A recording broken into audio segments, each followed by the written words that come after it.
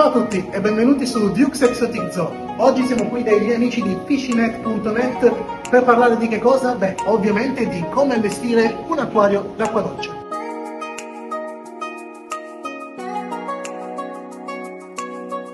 Successivamente potremo andare...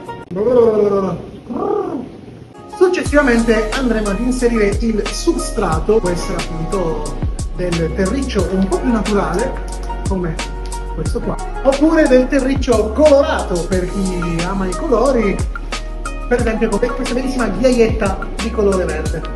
Quanto è bello il colore verde! Ok, una volta che abbiamo sistemato il nostro substrato, ah, piccola parentesi, ovviamente questo è per un acquario molto basico, molto base, Certo che se si vuole qualcosa di più avanzato, molto piantumato e quant'altro, si può optare per un fondo fertile sotto il substrato, un substrato appunto anche un po' più alto per far radicare le piante all'interno. Ok, adesso invece è il momento degli arredi.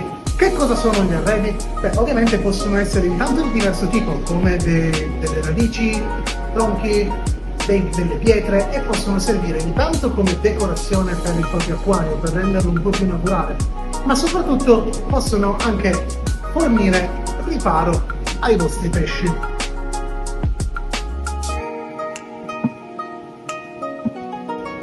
Ok, ovviamente la composizione l'ho fatta completamente a caso, però va bene così. Ci piace anche così.